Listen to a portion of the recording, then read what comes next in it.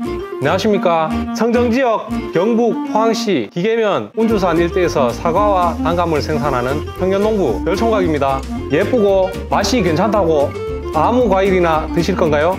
저희 흑별농장은 제초제, 착색제, 생장 조절제를 사용하지 않고 산무 농법을 원칙으로 바르고 건강한 먹거리를 생산하기 위해 부단히 노력하고 있습니다.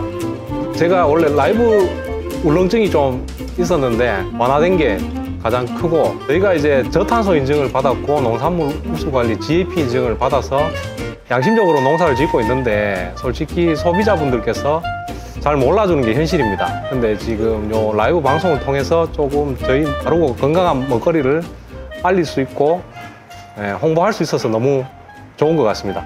처음에는 너무 자신이 없었습니다. 없었고 차츰차츰 좀 나아지는 걸 좀 실감하고 지금 팔로우 숫자도 예, 꽤 늘었고 농작업 중에도 보여드리기 위해서 예, 켜놓고 좀 작업을 하고 있습니다. 소비자분들하고 소통도 예, 신념을 지켜서 한무농법을 원칙으로 바르고 건강한 먹거리를 생산하고 있습니다.